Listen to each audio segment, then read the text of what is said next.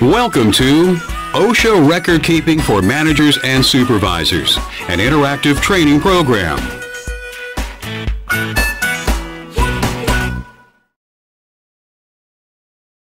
This course should be reviewed to assure that the information conforms to recommended procedures, as well as to any federal, state, or local laws regarding any facility's operations. The producer makes no warranty, expressed or implied, that the information in this course is accurate or appropriate for any particular facility's environment or any individual employee's personal situation.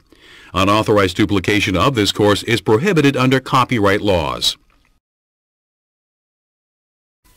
Upon completing this course, you should understand the purpose of the OSHA record-keeping rule, understand OSHA's requirements for recording employee injuries and illnesses, know the three key OSHA record-keeping forms, how they are used, and what information they contain. And know the rights that employees have under the OSHA record-keeping rule.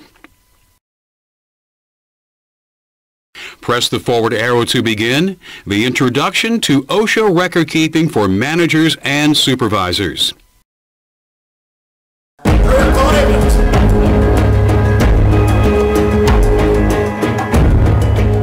I fill one of these out, I worry that I'm not doing it right. Am I providing the correct information? Is my description of the accident detailed enough to be useful?